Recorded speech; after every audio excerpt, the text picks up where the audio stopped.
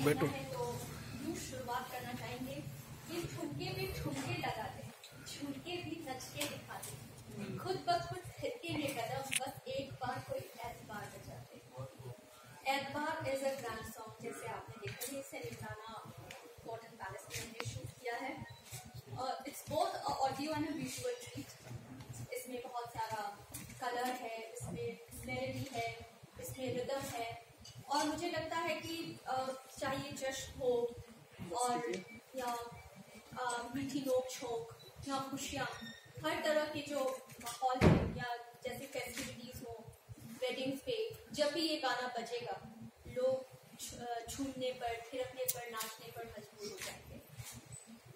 हम जानना चाहेंगे सबसे पहले इस बार आपके अ, कैसे मतलब माइंड में आया ये आपने कि यही गाना ही बनाना कोई और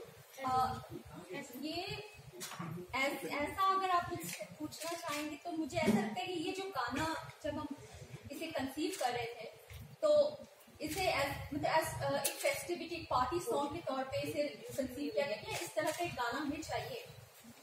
तो वैसे जस्ट बैठे बैठे कंपोजर के साथ इन सभी जो हमारे लिरिसिस्ट हैं अविनाश चौहान बड़े कमाल के इंसान हैं उन्होंने बस कुछ लाइन लिखी और उन्होंने सुनाई।